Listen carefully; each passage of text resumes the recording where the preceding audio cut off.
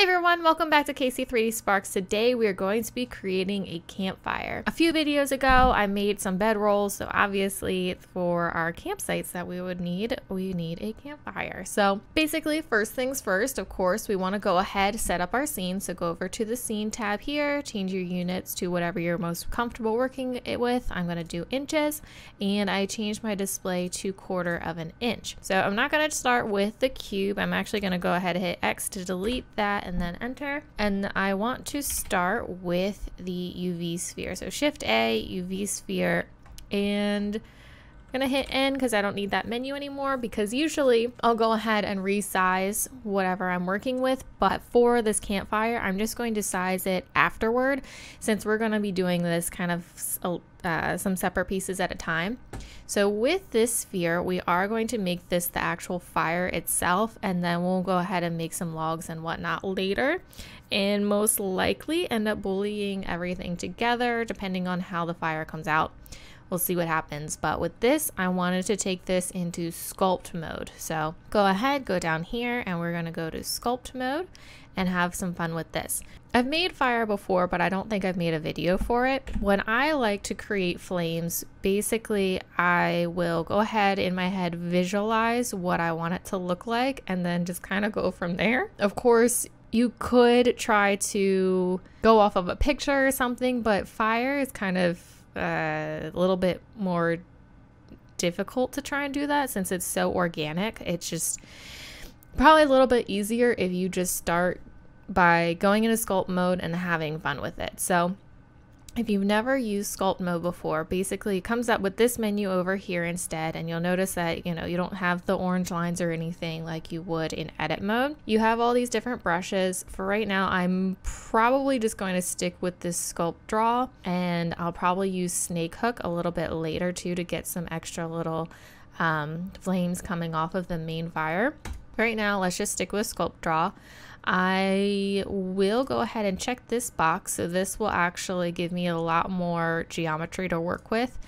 And I do not want the symmetry lock on. If you want, you can certainly leave that on depending on what kind of fire you're going for. I'm to turn this off, but yeah, because I don't need mirror or anything happening. And of course, you can control your radius and the strength of the brush right here. But once you have that, that is way too big. Um, I usually do a smaller brush, but of course, as you zoom, the brush will stay the same. So it kind of works out good for me to have a smaller brush. Anywho, um, I do have a sculpting tutorial on my channel if you want a better explanation of all this stuff. But for now, we're just going to use this brush anyway. Let's go to front view and see about how I want this. So I want this to have kind of two bigger flames coming up and then maybe some little ones that I'll use the snake hook for later on. Uh, let's just start by bringing this up. Actually, let's just try the snake hook for now to try and get this up and then we can thicken it a lot. Some of these little extra things we'll just have to go back and probably delete later or you can do control to subtract it away right away, whatever you prefer.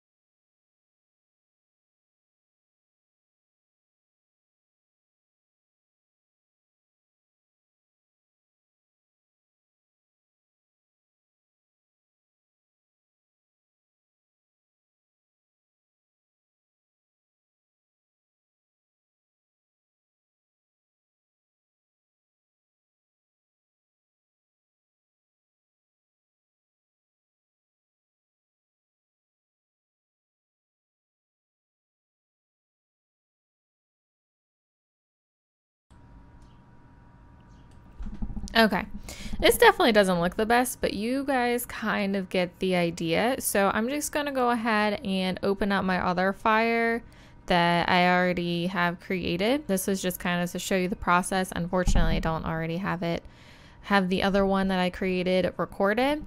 So I will go ahead and open up that file so you can see how a decent flame might look. I mean, this one's okay, but I want to have fun with the other one. Give me one second. So once I have this imported, I mean, you can see that this looks much better than what I had before. This is what I was trying to recreate, but it wasn't working for me.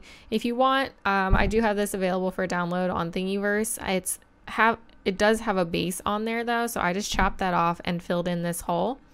Um, but anyway, let's go ahead and add in the logs. Hopefully you guys were able to just sculpt uh, fire how you wanted it. But I mean, if anything, that this is available for download. For the actual logs themselves, I'm going to do Shift A and we're going to do Mesh and Cylinder. That's way too big, so size that down and size it again, but do Shift Z so it only sizes it along the X and Y axis. And bring that over. I want to do a couple things before we just, I mean, you can make it um, irregular if you want to, but I kind of want it a little bit uniform. So what we're going to do is add two different modifiers. First, we will go ahead and do an array modifier. And I want to do 5 and do the offset a little bit more, maybe like that. And we're to do Shift A and add in a Bezier circle. Just size that maybe about there. Make sure that this origin is in the center. So origin to 3D cursor. And then what we can do, curve, or actually I'm not sure if that matters, but I think it does add the curve modifier, add the Bezier circle, and that will go ahead and rotate around there just like we want it to. And okay, so maybe we'll want to go ahead and maybe do another one. Another two. Okay, so seven looks pretty good. Awesome. And then we will go ahead and we're not in edit mode, so we'll just apply those two real quick. We can hide our circle because we don't need that anymore tab into edit mode, go ahead, select each individual one. So you can just click one vertice, hit L, and it'll click it will automatically select anything that's linked. And we'll go ahead and just rotate these. So for this one, since it's on the side, I can go ahead and just go into front view and rotate it. I'm gonna rotate it so it looks like it's kind of about there, looks good. So I can do the same to this one. Hit L for linked. Is that the right one? No. Linked, front view, rotate, make it match somewhat, and just go on down the line.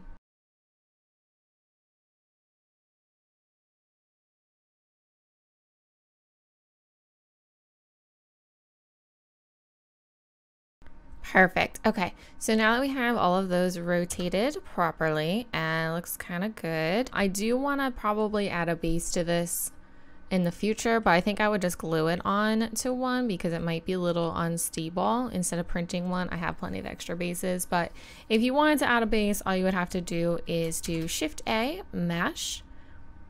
You could do a circle or a square if you wanted, depending on what shape you're going for, but I would probably do a circle. Just size that down to where it seems appropriate. So maybe about there. Tab into edit mode Go into front view, make sure probably about there so that all the logs are touching. Of course, you know, you could rotate that one down, maybe rotate down that one a little bit more so that way they all intersect. Then you can just hit E to extrude, make sure the normals, oops, you need to turn this off first, undo this, and make sure they all go in the right place. Don't want it that thick, but then you can just fill that circle in. And you could either just fill this in if you wanted to be like that, but if you wanted a smoother edge, you could do E to extrude, size it in a little bit, E to extrude, size it in a little more, and then fill. So that way it's a little bit more gradual up.